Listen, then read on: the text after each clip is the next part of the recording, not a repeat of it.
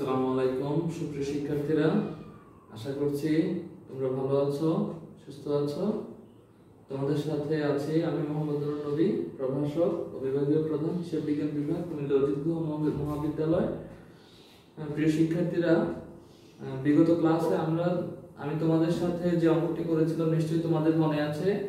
সেদিন আমি তোমাদেরকে ভ্যাটের যে জার্নালগুলো আছে, সে- সেগুলো করেছিলাম। নিশ্চয়ই তোমরা বাসায় বসে সেই অঙ্কগুলো প্র্যাকটিস করেছ। আজকে আমি সেই, এই অধ্যায়েরই আরেকটি অঙ্ক করব। সেটা হলো, কীভাবে calculation VAT calculation calculation of VAT কীভাবে ভ্যাট ক্যালকুলেশন করতে হয়, সেই জিনিসটা আমরা দেখব। দেখো, এখানে একটি প্রশ্ন দেওয়া আছে প্রশ্ন কি দেওয়া আছে? Opening raw materials ending raw materials আরও বিভিন্ন আইটেমগুলো দেওয়া আছে। এখন, এই আইটেমগুলো থেকে আমাদেরকে ভ্যাট ক্যালকুলেশন করতে হবে। এখন প্রশ্ন দেখেই দেখবা যে এটা কস্ট শিট মানে উৎপাদন ব্যয় বিবরণী যে আমরা করেছিলাম আগে, সেই অঙ্কের সাথে এটাতে মিল আছে।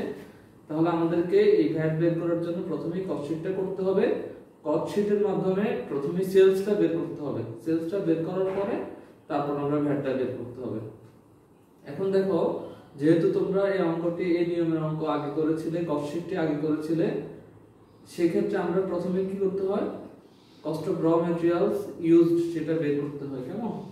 Cost of raw materials use আগে আমরা একটু প্রশ্নটা দেখে দেখো কি আছে? Opening raw materials ending raw materials opening finish goods ending finish goods raw material purchase direct wage factory overhead এগুলো দেওয়া আছে। তা এগুলো থেকে প্রথমে আমাকে যেহেতু র ম্যাটেরিয়ালস ইউজটা বের করতে হবে, সেজন্য আমাকে প্রথমে বিগিনিং র ম্যাটেরিয়ালস এর সাথে র ম্যাটেরিয়ালস যে পারচেজ আছে সেটা যোগ করব, আর এন্ডিং র ম্যাটেরিয়ালসটা কি করব? মাইনাস করব। তাহলে আমার raw material cost of raw material use বের হবে। তাহলে দেখো opening raw materials 4 lakh opening raw materials 4 lakh. তা র ম্যাটেরিয়ালস পারচেজ কত আছে? 19 lakh. Raw material purchase 19 lakh. 19 এর 4 23 লাখ। আর এন্ডিং র ম্যাটেরিয়াল দেওয়া আছে 90000 তাহলে 23 লক্ষ থেকে 90000 দিলে 22 লক্ষ 10000 এটা হলো cost of raw material use যেটাকে বাংলায় বলা হয় ব্যবহৃত কাঁচামালের ব্যয়। Cost of raw materials use ব্যবহৃত কাঁচামালের ব্যয়। এটার সাথে কি খরচগুলো আছে?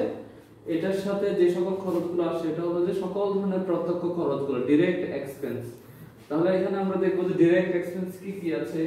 দেখো, এই অঙ্কের মধ্যে ডিরেক্ট এক্সপেন্স বলতে শুধুমাত্র ডিরেক্ট ওয়েজেস আছে, আর কোনো ডিরেক্ট এক্সপেন্স নেই। যেহেতু ডিরেক্ট এক্সপেন্স একটাই আছে, তাহলে একটাই আনতে হবে। আর যদি আরও একাধিক থাকতো, তাহলে একাধিক আসতো। তাহলে ডিরেক্ট ডাইরেক্ট ওয়েজ কত? তিন লক্ষ পঞ্চাশ হাজার। ডিরেক্ট ওয়েজ তিন লক্ষ পঞ্চাশ হাজার। এটা যোগ করলাম। যোগ করলে হবে প্রাইম কস্ট বাইশ লাখ দশ হাজার আর তিন লাখ পঞ্চাশ হাজার, পঁচিশ লক্ষ, ষাট হাজার হলো কি কস্ট প্রাইম কস্ট প্রাইম কস্টের সাথে ফ্যাক্টরি ওভারহেড কারখানা ও পরিবেশ কারখানা ও পরিবেশটা যোগ করতে হবে। এখন দেখো ফ্যাক্টরি ওভারহেড আরেকটা নাম হলো ম্যানুফ্যাকচারিং ওভারহেড তাহলে দেখব আমরা ফ্যাক্টরি ওভারহেড আছে কিনা। দেখো, এখানে লেখা আছে ফ্যাক্টরি ওএইচ মানে ওভারহেড এগারো লক্ষ পঞ্চাশ হাজার টাকা। এখন এখানে ম্যানুফ্যাকচারিং ওভারহেড তোমরা চাইলে এটা ফ্যাক্টরি ওভারহেডও লিখতে পারো, সমস্যা নাই। ফ্যাক্টরি ওভারহেড ফ্যাক্টরি ওভারহেড কত? এগারো লক্ষ পঞ্চাশ হাজার। তাহলে পঁচিশ লক্ষ আর এগারো লক্ষ পঞ্চাশ হাজার যোগ করলে হবে সাঁত্রিশ লক্ষ দশ হাজার। তাহলে total factory cost total factory cost মানে হচ্ছে কি? কারখানা ব্যয় বের হলো, কেমন? এখন কারখানা ও পরিবারের সাথে ওপেনিং ফিনিশ গুডস আছে এখানে। ওপেনিং ফিনিশ গুডস চল্লিশ হাজার আর এন্ডিং ফিনিশ গুডস হলো এক লক্ষ পঞ্চাশ হাজার। ওপেনিংটা যোগ করব ওপেনিং ফিনিশ গুডসটা যোগ করব আর এন্ডিং ফিনিশ গুডসটা কি করব? মাইনাস করব। তাহলে সাঁত্রিশ লাখ দশ হাজার সাথে চল্লিশ হাজার যোগ করলে হবে সাঁত্রিশ লক্ষ পঞ্চাশ হাজার। আর মাইনাস করলাম পঞ্চাশ হাজার, তাহলে হলো কত? ছত্রিশ লক্ষ পঞ্চাশ হাজার হলো, কেমন? ছয়ত্রিশ লক্ষ পঞ্চাশ হাজার।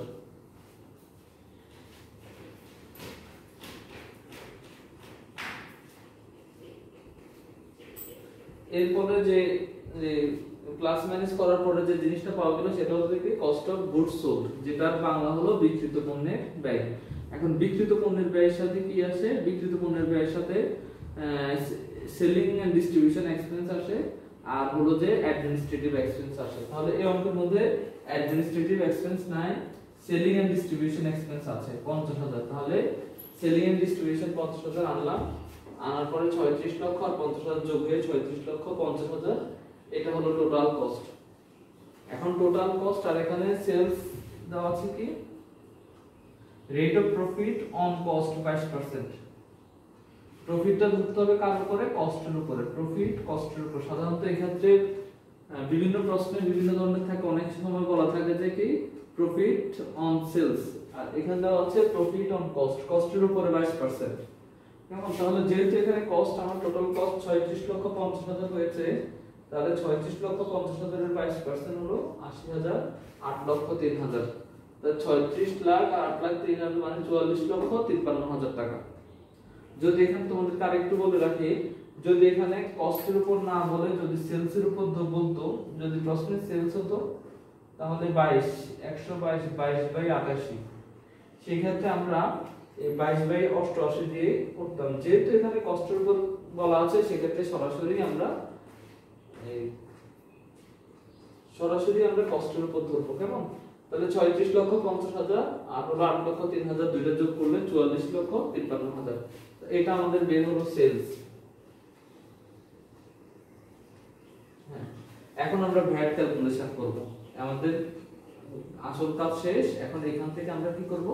ভ্যাট বের করব। এখন ভ্যাট বের করার জন্য আমাদেরকে ভ্যাটের পার্সেন্ট দেওয়া আছে কত? পনেরো পার্সেন্ট আমরা জানি সাধারণত ভ্যাটের পার্সেন্ট পনেরো পার্সেন্টই তার আমরা সেলসের উপরও ফিফটিন পার্সেন্ট ধরবো ভ্যাটটা, আবার cost of raw materials used এর উপরও ফিফটিন পার্সেন্ট ধরবো। সেলসের থেকে র মেটেরিয়ালস এর ভ্যাটটা বাদ দিলেই আমাদের অ্যাকচুয়াল ভ্যাটটা যেটা সেটা বের হবে। তাহলে এখানে সেলস চুয়াল্লিশ লক্ষ তিপ্পান্ন হাজার, চুয়াল্লিশ লক্ষ তিপ্পান্ন হাজার এটার ফিফটিন পার্সেন্ট ভ্যাট কত? ছয় লক্ষ সাতষট্টি হাজার নয়শো পঞ্চাশ টাকা।